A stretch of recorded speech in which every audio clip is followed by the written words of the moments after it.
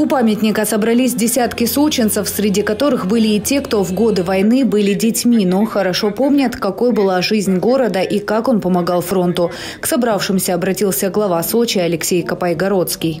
Вместе с сочинскими хирургами, проводившими уникальные операции на жизнь тяжелораненых солдат, матросов и офицеров, боролись и простые сочинцы. Днями и ночами они ухаживали за нашими героями. За свой бессмертный подвиг город-госпиталь был награжден орденом Отечественной войны первой степени. 111 госпиталей работали в Сочи. Первый эшелон с ранеными бойцами прибыл 5 августа 1941 года.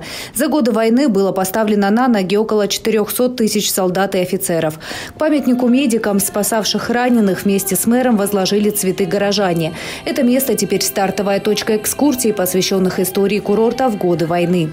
Инициатором стал клуб «Эрудит» с участием городского музея истории и отделения военно-исторического общества. Сейчас в Эрудите свыше 100 сочинских экскурсоводов. Пройдем по Ривьерскому мосту, посмотрим на горные вершины и осознаем, что в августе 42 года гитлеровцы вплотную подошли к нашему городу. И только подвиг солдат 20-й горно-стрелковой дивизии не пропустил фашистов на наши улицы. Вместе с главой Сочи депутатами на первую экскурсию отправилась и Валентина Карпенко. Ее мать в годы войны работала в госпитале, да и сама Валентина, тогда еще дошкольница, бывала там. И вот ее воспоминания. Люди разные, а глаза почему-то выражали одно и то же. Огромную тоску по своему родному.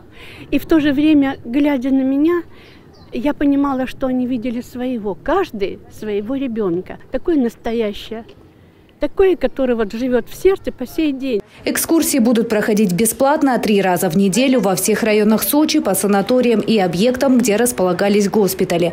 Посвящена акция юбилею Победы, но может стать и постоянной. Татьяна Говоркова, телекомпания «ФКТ».